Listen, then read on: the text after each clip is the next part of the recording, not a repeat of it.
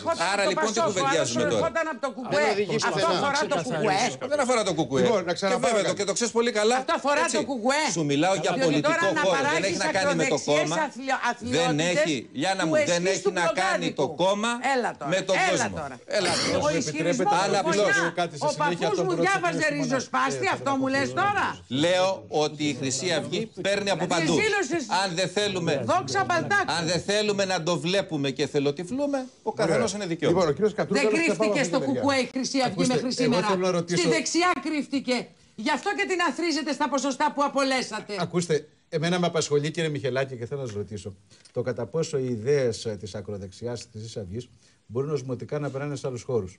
Και ειδικά στον χώρο της Νέας Δημοκρατίας; Στην κυβέρνηση θες να πεις. Όχι σε Ναι, άλλους τη χώρους. Νέας απλώς. Δημοκρατίας, λέω ρητά. Δημοκρατίας. Χθες, Και στην κυβερνητική χθες- πολιτική. χθες η Λεπέν ανακοίνωσε ότι αυτό που θεωρεί μεγαλύτερη επιτυχία του κόμματός της είναι η αποδενεμονοποίηση. Deδιabolization στα γαλλικά. Ε, βέβαια. Ότι δηλαδή ενώ υπήρχε ένα κορδόν σανιτέρ γύρω από το Front National. Θα έδειξε να εκλέξει υπάρχει. 2.000 δημοτικούς συμβούλους. Εγώ θα ήθελα να ρωτήσω, όταν αφομοιώσατε τα στελέχη του λαού και τα κάνετε προβεβλημένα στελέχη της Νέας Δημοκρατίας, ουσιαστικά δεν Ταυτίζεται, συγγνώμη, αποδαιμονοποιήσατε. ερώτηση, Δεν μια διευκρίνηση να αποδαιμονοποιήσατε. σας κάνω, για να σας ναι, ρωτήσω. βεβαίως. Ταυτίζετε τα στελέχη που ήρθαν από το Λάος με νεοναζί και φασίστες; Όχι, για ακροδεξιά Όχι, όχι, μίλησα. Μίλησα για ακροδεξιά. Τι σημαίνει ακροδεξιά; Ήμουν προσεκτικός. Όχι, όχι. Τι- τι Ακροδεξιά, ακροδεξιά. Γιατί όταν τα ταυτίζετε με ένα Ναι, ναι, ναι. συγκεκριμένο χώρο, Δεν τα τους δίνετε ταυτίζω. χαρακτηριστικά Όχι, ναζί όχι. και νοφασίστη. Μίλησα, Άρα για, το τη, διευκρινίζουμε μίλησα αυτό. για τη Μαρίν Λεπέν. Η Μαρίν Λεπέν αυτή τη στιγμή είναι ακροδεξιά, δεν είναι νεοναζί.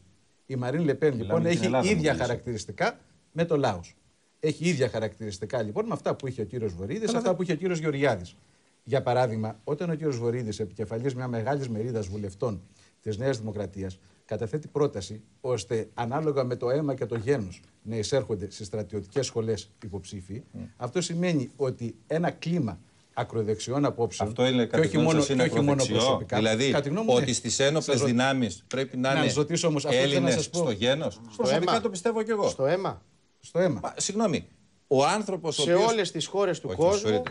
είναι Έχουμε πει κριτήρια όπως- να βάλουμε 10 χρόνια σας Το θυμίζω. DNA με τα δυσκολίες 10 χρόνια. ξεχωρίζει τον άνθρωπο Γιάννα στα μου, παντίκια και τα Γιάννα μου, μπουνιά. μην παραποιείς Εσείς αυτά δεν που τους λέω. ξεχωρίζετε Μην από παραποιείς αυτά που λέω. Πεντηκρή Για να είναι μπορέσει κατά το να αίμα. πάει έπρεπε να περάσουν κάποια χρόνια. Στην προκειμένη περίπτωση 10. Άρα λοιπόν αυτό που λέτε είναι η μισή αλήθεια. Άρα να τη λέτε ολόκληρα, κύριε Κατρούγκαλε. Όχι, Όταν εγώ- θα αναφέρεστε κάτι Ακούστε, συγκεκριμένα, εγώ σα- δεν σας θα ρώτησα λέτε όμως. ολόκληρη την Δεν αλήθεια. σας ρώτησα. Μα αναφερθήκατε σε ένα πράγμα Ναι. που η βάση του Κατά τη ερωτήματός γνώμη σας μου, κατά τη ήταν γνώμη μου, λάθος. αυτό είναι ακροδεξιά Λέγατε. ιδέα, για εσάς είναι Καλά. προοδευτική.